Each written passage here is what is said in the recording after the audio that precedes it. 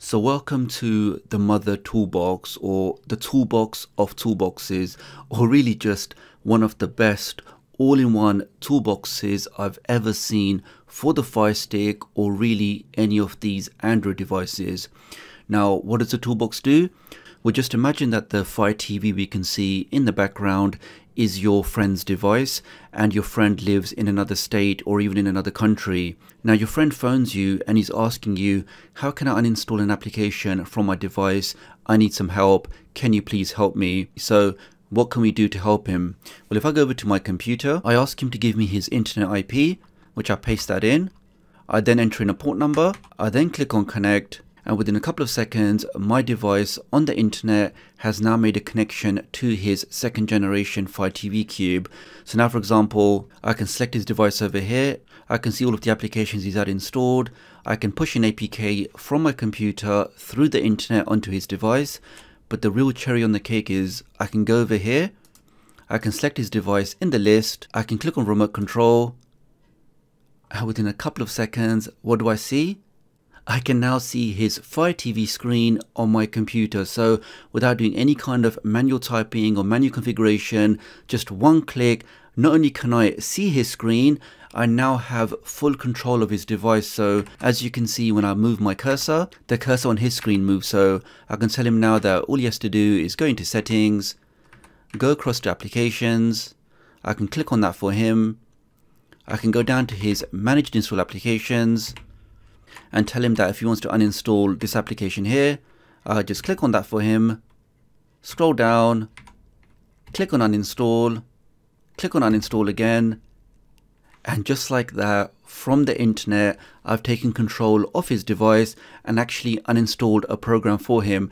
And that's really just the tip of the iceberg, guys, because this all-in-one toolbox really does have some amazing features. In this video today, let me show you how you can get this toolbox on your device then I'll take you through the setup procedure and how you can use this all-in-one toolbox to fully manage and support your friends, family, and even customers. So do take a moment to hit that like button, make sure you hit that subscribe button. So with all of that being said, Let's get started. If you're new to the channel and you want to stay up to date with the latest tech tutorials, the latest Fire Stick, Android and Android TV tips and tricks, then please do subscribe and hit the notification bell. It's a small click from you, but it makes a big difference to me. Thank you. Okay, so to get the toolbox on your device, we just need to download two files from our website directly onto your computer. So if you just navigate to my website, which is just techdoctoruk.com, once you get there, click on tutorials and the latest tutorial in the list will be how you can manage all of your devices using this new amazing toolbox. So let's open that up. Here we see the main benefits, so no manual typing, you get full remote control, you don't need to install anything on the target device, and of course no root is required. Here we have the step-by-step -step instructions on how you can find the IP address and enable ADB debugging. And just under that, we should have the two files that we need. So this is the Flaky ADB GUI tool and under that is the SCR CPY, the screen copy tools. So his tool basically creates the front end, allows you to run all of those ADB commands just by clicking on them, and then it also utilizes this tool to actually do the remote control. So let's download both these now. And here is a folder here which has both those files extracted. Let's open that up. And the only thing we need to open up is the Flaky ADB GUI tool. So let's open that up. And let me just say a massive thanks to Flaky, who's actually the person who developed this tool. So when I saw this application on his website, I was just blown away. So I did check with him that it's okay for me to share it and he's happy with that. So once again, many thanks to him for developing this amazing tool.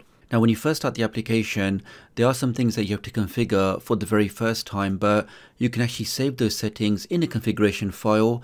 You can basically save those profiles so whenever you need to connect to any of those devices, you can open the profile and then with one click fully manage that device. So the first thing we have to do is we have to locate ADB, which is included. So I can click on that and in the same folder we can see I've got ADB there. Let's click on OK or open.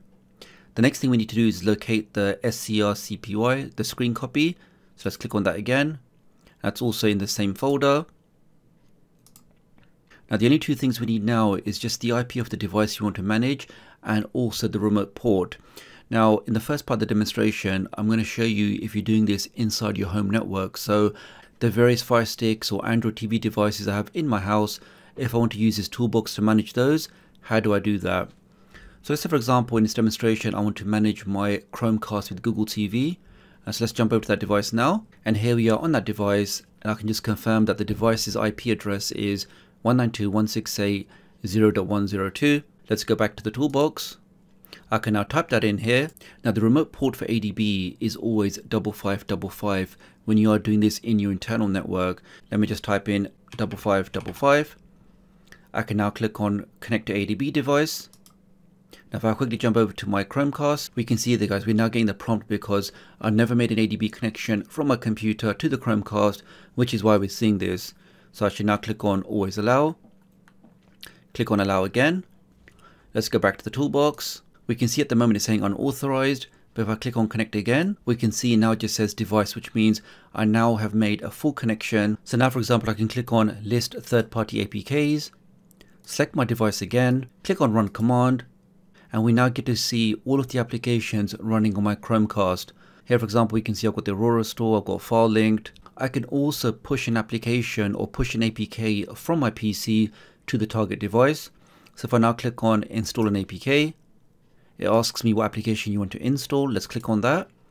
And in this example, let's click on Fitzy TV. But of course, you can use any application that you like. Click on open, select the device again, and click on run command. And this should now do an ADB push from my computer, push the APK, and we get the message there that's now installed. And in fact, if I jump back over to my uh, Chromecast, and go to apps, see all apps, and do we see and there it is guys. So that was just installed right now using this all-in-one toolbox. So do give a thumbs up for that now let's go back to the toolbox so we can install applications we can list applications already installed we can reboot the device and we can even update applications now the key part of this whole toolbox is that remote control feature. So here for example we can see some of the parameters for that remote control session. For example you can increase the resolution but I personally like to leave it on 640 and here you can also increase the video bitrate but personally because I want to have the best performance I always just leave this as 2 meg. So do that, select the device again, click on remote control and within a couple of seconds I should now see my Chromecast screen. And as the key thing is guys it's not just about watching the screen.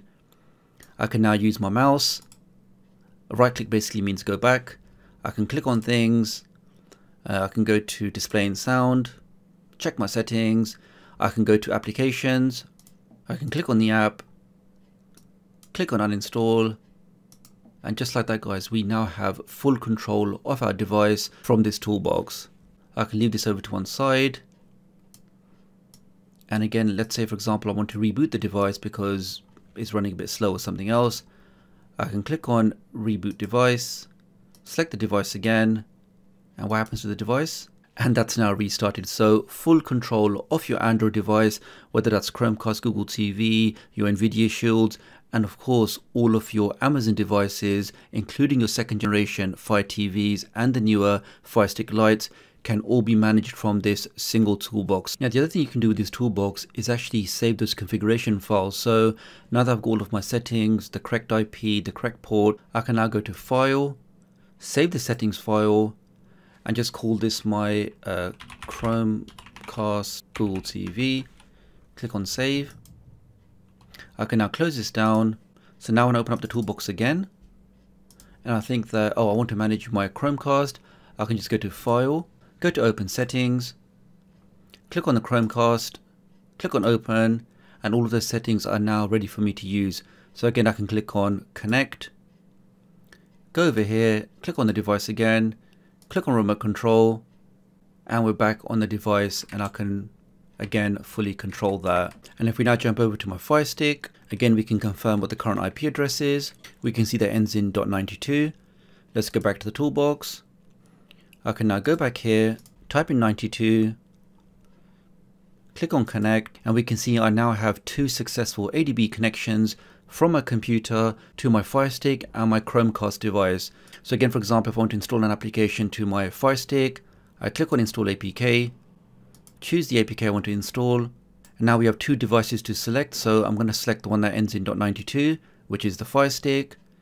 Click on Run Command. Let's jump back onto the Fire Stick. And do we see Fitzy in the list? Yes, we do. So whether you are using an Amazon device or an Android TV device, you can use this toolbox to push applications, to restart, and even remote control. So if I go back to the toolbox, choose my Fire Stick over here, click on remote control, and do we see the Fire Stick? Yes, we do, guys. We are inside the Fire Stick screen. And of course, now if I do a right click, which simulates me going back, I have full control of my Fire Stick. I can go to home. I can go to search. I can type in, uh, I don't know, typing, just to show you that I am actually setting those keystrokes from my computer directly to the Fire Stick. So that's the first part of the tutorial where you can use this toolbox to manage all of those Android devices on your home network and we can push applications, we can restart them, and of course, fully remote control them. Now the next part of the video, which I'm actually going to save for part two, is going to cover the more complex procedure on how you can actually take control or manage devices through the internet. Now, because that procedure requires you making changes on your friends or your customer's router, it is a little bit more complex. And as this video has already gone quite long, I'm going to save that for part two. I think most of you will just be happy that you can use this toolbox and manage all of the different devices in your house. But for the people that want to manage other people's devices, do look out for part two. So that's all for this video, guys. Many thanks for watching. If any of you are still with me in the video, then if you leave the comment below, flaky wins, then I know you've made it this far in the video, which I really appreciate. I'll then heart that comment. So if you did find this video useful, then do give it a thumbs up. If you want to see part two of this video, make sure you are subscribed. Do leave me a comment below, let me know what you think, and I'll hopefully catch up with you guys real soon. Thanks.